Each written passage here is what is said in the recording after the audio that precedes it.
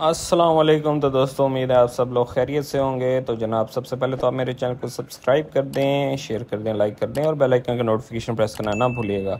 तो यार, कैमरे की क्वालिटी पे ये इस वीडियो में इतना फोकस ना करना, क्योंकि ये जो हमारे हैं, इन्वेस्टर हैं, उन्होंने भेजी है ये वीडियो गाड़ी की।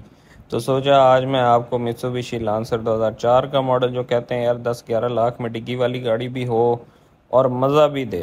तो आज आपके लिए 10 लाख में वो वाली गाड़ी लेके आए हैं जो डिक्की भी मिलती है, इंजन भी बड़ा मिलता है, एवरेज भी अच्छी मिलती है और ड्राइव भी अच्छी मिलती है तो जनाब, ये है मित्सुबिशी लांसर 2004 का मॉडल है और ये बेस वेरिएंट में है इसमें काफ़ी वेरिएंट्स आए हैं, जिनमें एक 1.3 आया है 1.3 ऑटो आया है 1.3 ऑटो सनरूफ आया है 1.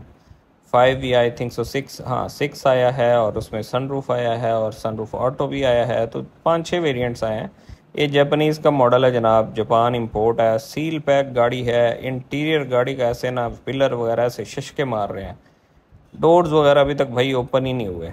इंटीरियर गाड़ी का माशाल्लाह बहुत ही खूबसूरत पड़ा है, साफ़ सुथरा इंटीरियर पड़ा है। या वीडियो में आपको कुछ नज़र आ रहा होगा और बाकी ये पिलर्स वगैरह जनवन हैं बैक की कंडीशन बहुत ज़बरदस्त है यार, मैं बार बार कह रहा हूँ ज़रा कैमरे की क्वालिटी पे इतना वो ना करना।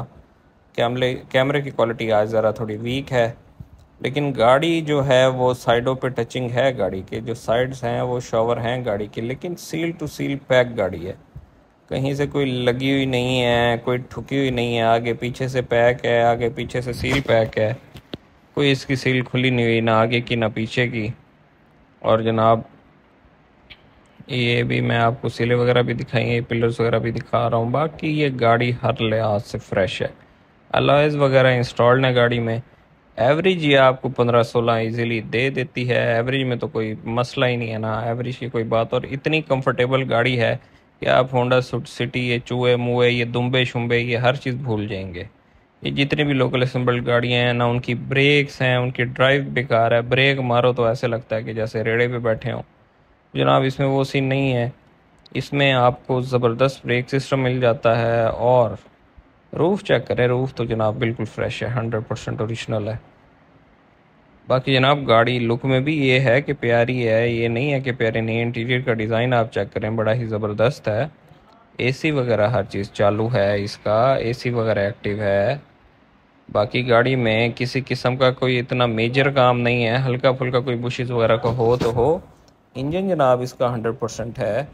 इंजन भी मैं आगे चल के आपको दिखाऊँगा। बाकी गाड़ी बिल्कुल फ्रेश पड़ी है, हर लिहाज से। हर लिहाज से गाड़ी ओके है। अब मैं आपको ज़रा इसके इंजन रूम का दीदार करवा देता हूँ। तो जनाब ये देखें, बोनट तो ऐसे पड़ा है ना, जैसे बस चमचमाता हुआ, ये बिल्कुल ज़ीरो। ये आगे आपको एक कपड़े के निशान नज़र आ रहे हैं तो परेशान नहीं होना कि किस चीज़ के निशान है। ये जो कपड़ा होता है, जो नीचे रबड़ होती है, उसके निशान है। बाकी सील पैक है, बोनट भी। कुप्पे वगैरह हंड्रेड परसेंट औरिजिनल हैं, ये आप देख सकते हैं। दोनों कुप्पे ये चेक करें, हंड्रेड परसेंट औरिजिनल है। बिल्कुल ज़बरदस्त कंडीशन में। फ्रंट पट्टी ओरिजिनल है इंजन हंड्रेड परसेंट है, दस लाख में और आपको क्या चाहिए? तो जो सीरियस वायर हों, यार डिस्क्रिप्शन में मेरा नंबर है तो मुझसे कांटेक्ट कर सकते हैं। तो जनाब, आप सब लोग का बहुत शुक्रिया। अपना ख्याल रखिएगा। Tata bye bye